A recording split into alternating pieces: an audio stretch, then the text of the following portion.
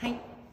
TikTok をご覧の皆様こんにちは佐藤晴美です、えー、TikTok にてハッシュタグベストコスメの企画がスタートします、えー、今回はその企画のキービジュアルの撮影をしていました、えー、今年を代表するコスメが TikTok でもたくさん紹介されるので、えー、ぜひ見てみてください。そしてお気に入りのコスメがあったら「ハッシュタグベストコスメ」のタグをつけて動画も投稿してください。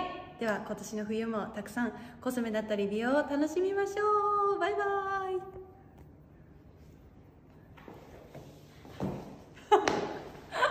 どう？どうですか？もう止めて。